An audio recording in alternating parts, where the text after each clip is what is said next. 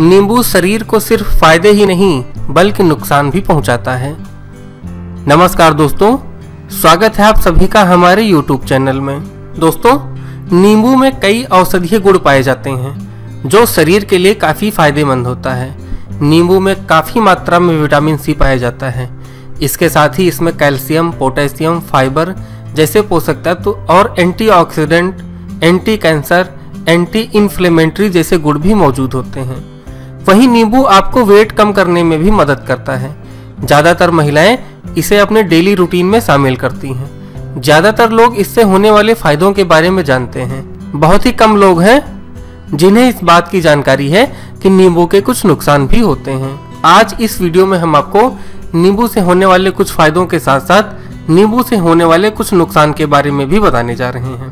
पहला है ड्राइनेस। वैसे तो नींबू स्किन और बालों के लिए काफ़ी फ़ायदेमंद होता है। वहीं अगर इसका यूज़ स्किन या बालों पर किया जाए तो यह आपकी स्किन और बालों को ड्राई कर सकता है। अक्सर महिलाएँ अपने बालों पर या स्किन पर नींबू को डायरेक्ट लगाती हैं। आपको बता दें कि ऐसा करने से आपको बचना चाहिए। पिंपल्स। पिंपल्स में नींबू को लगाने से बचना चाहिए, क्योंकि ऐसा करने से यह आगे जाकर ब्लीडिंग या गंभीर ब्रेकआउट का कारण बन सकता है। इसलिए डायरेक्ट अपने पिंपल्स पर नींबू का इस्तेमाल ना करें। जब आप ज़्यादा नींबू का सेवन करते हैं तो आपको बेचैनी होने लगती है। यह परेशानी आगे जाकर गंभीर बीमारी का भी कारण बन सकती है। इसलिए नींबू का नियमित रूप में ही सेवन करें, अधिकता न करें। अगला है पेट गड़बड़ होना।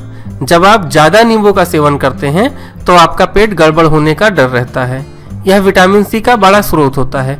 वहीं ज़्यादा विटामिन सी होने से दस्त, उल्टी, पेट में दर्द जैसी समस्याएँ होने लगती हैं।